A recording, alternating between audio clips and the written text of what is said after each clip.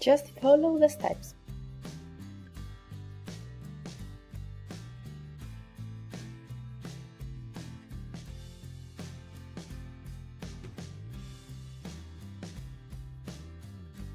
Subscribe to our YouTube channel and stay informed.